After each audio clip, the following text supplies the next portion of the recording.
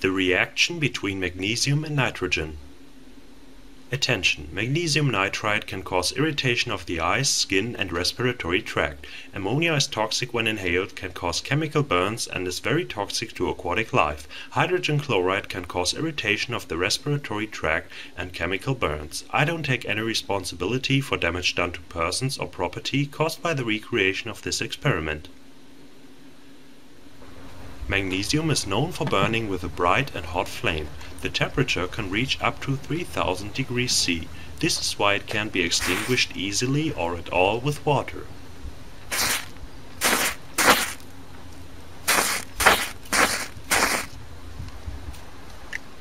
It is even able to react with carbon dioxide, which is shown here in the form of dry ice. What's left in the end is carbon and magnesium oxide.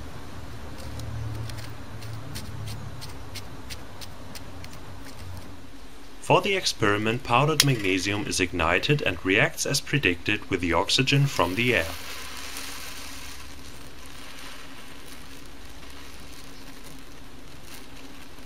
The air consists of about 21% oxygen, but the majority consists of nitrogen, which makes up to 78% of the air. 1% are other gases. The surface of the residue is mainly magnesium oxide, but the inside consists of a greenish-yellow compound. This is magnesium nitride, which has formed due to the high heat of the first reaction after the oxygen was used up.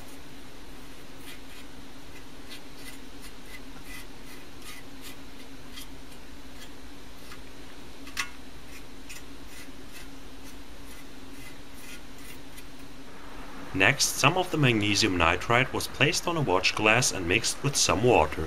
A second watch glass was prepared with wet pH paper like when testing for ammonium ions and placed on the top.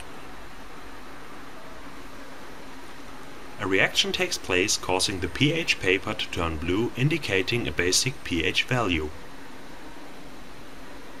The magnesium nitride reacts with water to form magnesium hydroxide and ammonia. The hydrolysis of nitrides was used in the Serpek process in the beginning of the 20th century, but instead of the magnesium aluminium nitride was used. A few years after that the Haber-Bosch process was invented.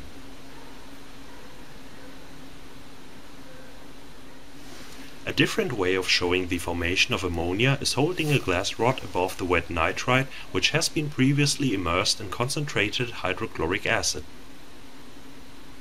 In this case hydrogen chloride and ammonia react to form a white fog of ammonium chloride. This was the reaction between magnesium and nitrogen. I hope you enjoyed, please rate and comment. If you want to know more about testing for ammonium ions, you can watch my video about it here, or you can watch my latest video here.